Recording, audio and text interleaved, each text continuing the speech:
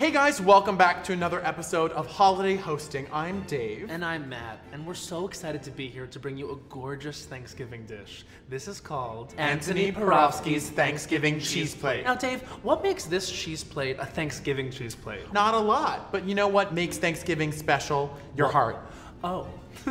So today we're going to be building a dish that you can use at any of your holiday parties, particularly around the Thanksgiving season. And this is really good because it's very cheap and from the store. Mm-hmm. So it's very easy, which makes it an Antoni original. Yes, absolutely. All these ingredients can be easily found um, anywhere that there is food. Yeah, one of the colder aisles. Mm-hmm. Um, that's what I say whenever I go to the supermarket. I say I'm gonna go in the colder aisle. Yes. Because that's where you can find the refrigerated stuff. Yes, that's where that's where you keep the stuff that needs to be kept cold. I think we're ready to start building this recipe, Matt. How about you? I think we are as well. Great, awesome. So we'll take out our first ingredient, which is um, cheese. Oh, Dave. Um, here's the cheese. I'm handling it with my hands. So here we have two different kinds of cheeses. This one here is Yellow. yellow cheese, and this one over here is um, Off yellow. off yellow kind of triangle cheese. I think what we should first do is, and can you please be mature about this?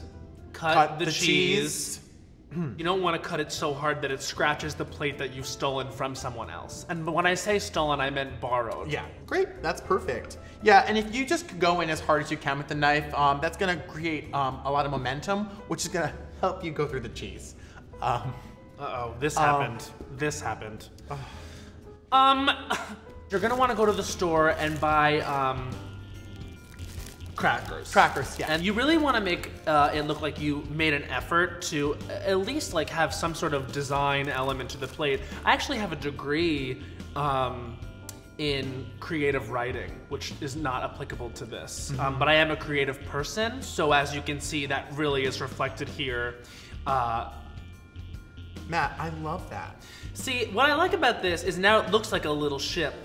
So of course we have here the mast. Yes. And this is the um, The sail, the wind, the porter, the cast iron.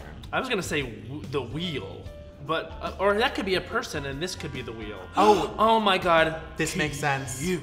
This is so great, and your guests are going to love. I'm telling you, when they see this, they're gonna say, "Is that Antoni's cheese plate?" Yeah. Yeah. This is incredibly vegetable. Just throw it around the plate. Really. Absolutely, like, And know- the, the grape should be the ocean. Oh, that's the wave. This, by the way, is based on Antoni's understanding of the Thanksgiving miracle, as I believe is what it's this called. all in his book. Yeah, this is in his book, Um, which is called Eat. You Can't Say We're Not in a Kitchen with Antoni. So this is The Ship Has Broken Half, which is a metaphor for America. Mm-hmm. I guess it's time to. Turn it out for the guests. Uh, I was gonna say try it, but I, I don't want to eat this. Yeah, no, it doesn't really. I don't. I actually, I feel full just looking at Yeah, it. yeah, yeah. Yeah. But for someone else, yeah, and it's really that's great because it's really about the guest. Exactly, and it shows your guests that you thought about something that day. What do you do with the um, the grind? Smoke it. we want to thank you guys so much for joining us for holiday hosting. Yeah.